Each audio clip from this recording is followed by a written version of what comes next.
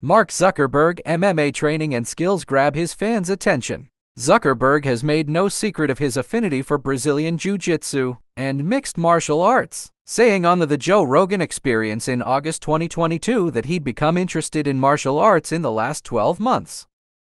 It really is the best sport, Zuckerberg said. From the very first session that I did, like five minutes in, I was like, where has this been my whole life? Mark Zuckerberg is ready to fight Elon Musk in a cage match, a tech billionaire brawl for the ages that needs to happen. Dana White discuss about Mark Zuckerberg and Elon Musk upcoming fight. That's why you say that. Because they both said, yeah, we'll do it.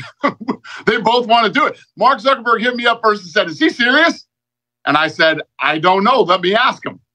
I asked him, and he said, "Yeah, I'm dead serious." You know, um, you know, obviously for for, and I agree with you, Harvey. This would be the biggest fight ever in the history of the world. Um, bigger than anything that's ever been done. It would break all pay per view records. These guys would raise, you know, hundreds of millions of dollars for charity. And uh, you know, you don't have to be a fight fan to be interested in this fight. You, you everybody would want to see it.